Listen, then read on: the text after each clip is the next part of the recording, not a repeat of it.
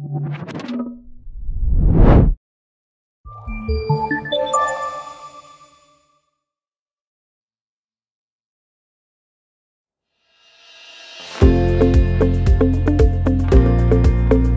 Dekarbonizacja gospodarki i neutralność klimatyczna w kontekście szczytu klimatycznego COP26 w Glasgow. O tym rozmawialiśmy podczas debaty Rzeczpospolitej. Drodzy Państwo, do szczytu klimatycznego zostało już bardzo niewiele czasu, to jest mniej niż 100 dni. Co tam się będzie działo? Jakie propozycje zostaną wyjęte na stół w związku z ochroną klimatu? I z jakimi propozycjami pojadą tam polskie de delegacje. O tym rozmawialiśmy podczas naszej debaty.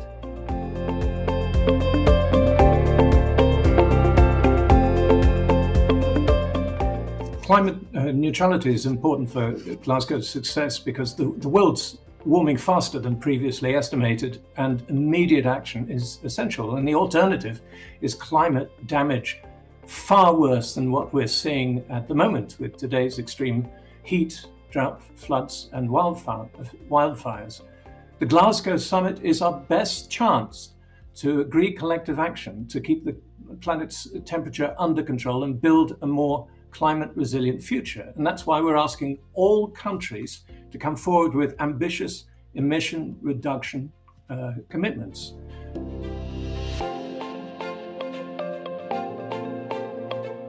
Climate change has been a shared agenda between our two countries for years, for decades, um, and I think in 20. Um, sorry, last last year, our two prime ministers, Johnson and Morawiecki, agreed a new clean growth partnership. So it's now quite at the heart of our relationship. Um, the three areas in particular I wanted to highlight are wind, cars, and coal. Um, offshore wind is a big area for Poland's development now. We've been working together for many years to share the UK's experience. The UK, as you know, has the largest offshore wind capacity. We hope to continue our cooperation in that area. Um, on cars, we've been working together on the shift to electric vehicles, um, again with a joint initiative that took place in COP24 in Katowice. And we're hoping that with the Polish government, we can have a similar initiative uh, to encourage countries to shift and to send a clear signal to industry that um, investment now needs to be in clean vehicles and in cleaning up our air and clearing, cleaning up our streets. Um, and then the third area of coal, um, uh, you know, and I think this is an area where we talk to the Polish government. Poland clearly has um, a big challenge on, on your hands. Um, what we hope is that COP26 will be the climate summit that consigns coal to history. So we really look forward to working together on that.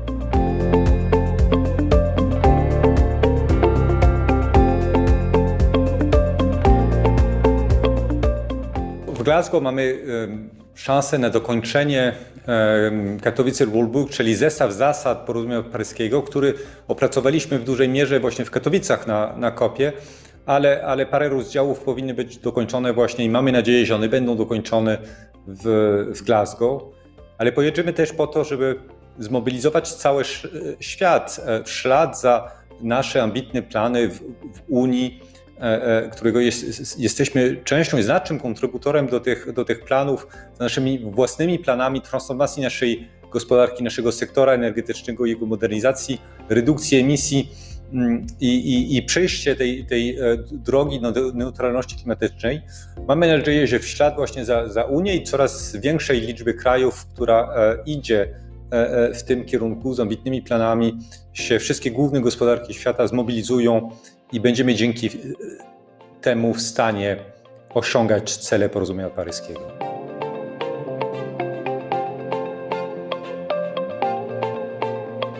Polska e, jedzie e, na konferencję klimatyczną COP26 w Glasgow jako część reprezentacji Unii Europejskiej.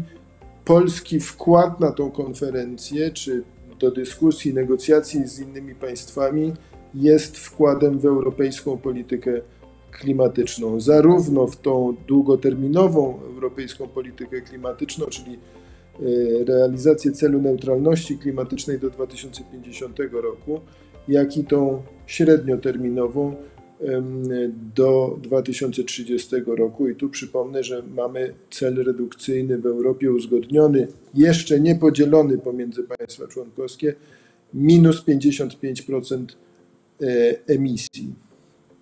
I oczywiście polska delegacja, tak jak zresztą inne delegacje e, europejskie, będzie namawiała partnerów, w szczególności z innych państw rozwiniętych, z USA, z Kanady, z Australii, z Japonii, z Korei, ale też państwa mniej rozwinięte czy rozwijające się, państwa afrykańskie, czy dalekie azjatyckie, czy południowoamerykańskie, do tego, żeby kształtowały politykę, swoją politykę klimatyczną w podobny sposób i żeby też określały cele długoterminowe i przedstawiały po, propozycje, jak realizować u siebie e, te te cele. Ale mm, dyskusji, której nam dzisiaj w Polsce na pewno brakuje, to jest to, w jaki sposób my w Polsce chcielibyśmy albo moglibyśmy realizować te ogromne wyzwanie, jakim jest redukcja o 55%, to ponad połowę e, e, emisji do, do 2030 roku, czy cel neutralności klimatycznej do 2030 50 roku. Mamy co prawda e, pewne e, osiągnięcia, jeśli chodzi o redukcję emisji z sektora energetyki, ale e, chcę przypomnieć, że z sektora transportu mamy wyłącznie wzrost emisji równo idący od początku transformacji od 1987 roku. I, I to jest na pewno wyzwanie, przed którym stoimy, te y, dziesiątki tysięcy, czy nawet setki tysięcy importowanych samochodów spalinowych co roku do Polski robi swoje. I powinniśmy tutaj w Polsce dyskutować o instrumentach, w jaki sposób chcemy walczyć z emisjami, czy to z transportu, czy to z rolnictwa, czy to z budynków, czy to z odpadów. I w tym kontekście dość Zastanawiający jest fakt, że z projektu ustawy o elektromobilności wyparowały, nie wiadomo dlaczego, przepisy o strefach czystego transportu w miastach. To jest jeden z instrumentów, którym moglibyśmy walczyć z emisjami e, z transportu, ale i takiej pogłębionej dyskusji nie tylko jaki mamy cel, ale w jaki sposób byśmy chcieli te cele redukcji tu w Polsce osiągać, moim zdaniem, brakuje.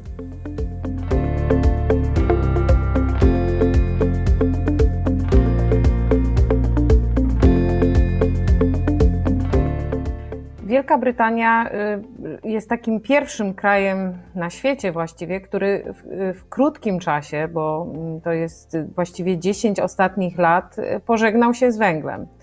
I y, to jest po prostu bardzo ciekawe to, co się wydarzyło w Wielkiej Brytanii.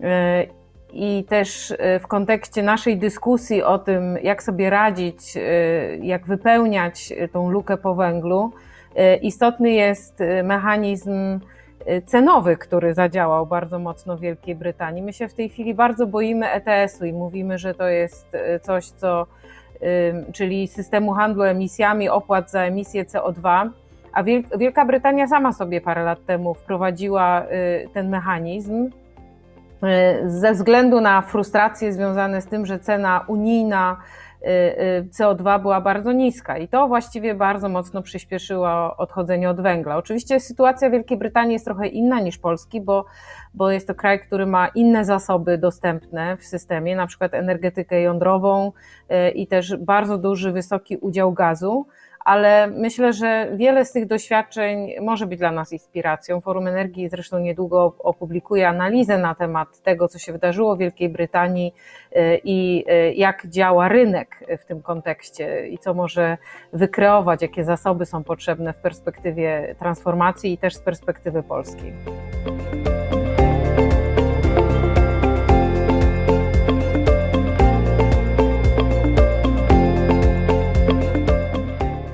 2050, we have to achieve a balance between the carbon put into and taken out of the atmosphere. To do that, we have to halve carbon emissions by 2030, just nine years from now. So the UK presidency has already shown leadership as the first major economy to put into law a commitment to zero uh, net zero emissions. And over 120 countries uh, have now followed us and pledged to develop a net zero plan. So we will continue to broker the strongest possible consensus for Glasgow to meet all of these goals. First of all, our ambition reflects the urgency of the task to meet our collective net zero goals. The global transition to clean power has to happen at least four times faster than at present. Economic recovery and net zero are complementary. Since 1990, uh, we've cut emissions by 42%, while our economy has grown by two thirds. So, our Prime Minister has announced a 10 point plan uh, for a green industrial revolution, mobilizing £12 billion of government investment, which will spur up to three times as much private investment by 2030, and supporting up to uh, a quarter of a million jobs. And our 10 year goal is 2 million green jobs. And it sets out a, a range of measures to drive a, a green economic recovery, and it covers energy, transport, nature, and innovation technologies. And, and the point I'd like to uh, leave you with is, is the economics have changed dramatically since uh, the global financial crisis of, of the uh, 2000s. Low carbon technology is often cheaper or soon will be. So decarbonization presents many opportunities, and we are already benefiting from it with around 400,000 green jobs.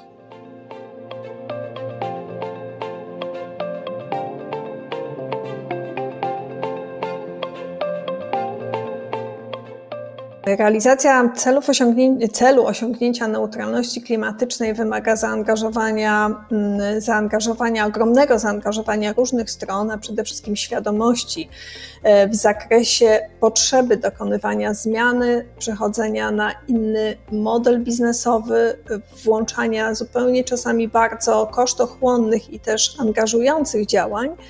E, I dlatego tak bardzo ważny jest poziom świadomości, e, z jaki, jaki jest w danym momencie w przeróżnych e, również organizacjach zaangażowanych w dokonywanie tej zmiany.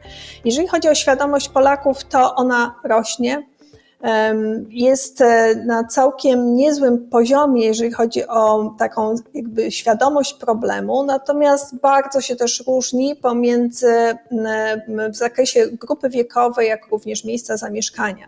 Zdecydowanie e, oczywiście największa świadomość jest e, zagrożeń płynących ze zmian klimatu, a tym samym konieczności podejmowania bardzo intensywnych działań w zakresie dekarbonizacji. Jest największa świadomość jest w miastach powyżej 500 tysięcy mieszkańców i tutaj wręcz zmiany klimatu i wszystko, co się z tym wiąże, określane jest jako jedno z największych zagrożeń, natomiast zdecydowanie słabiej jest e, to dostrzegane na obszarach wiejskich. Podobnie e, też jeżeli chodzi właśnie o chociażby wykształcenie, osoby z wyższym wykształceniem postrzegają ten problem jako bardzo ważny i znaczący i chętnie się w niego angażują. Ja myślę, że bardzo istotny jest tutaj element angażowania się młodzieży, wymuszania pewnych zmian, e, wołania o edukację klimatyczną po to, aby świadomość w społeczeństwie rosła, bo bez tej świadomości i bez współpracy e, wszystkich podmiotów, które są zaangażowane, zaangażowane w dekarbonizację, nie osiągniemy naszego celu. Będzie, nam, będzie to droga bardzo trudna, e, i, a chodzi nam przecież o to, żebyśmy ten cel osiągnęli i żeby zakończyła się ona sukcesem.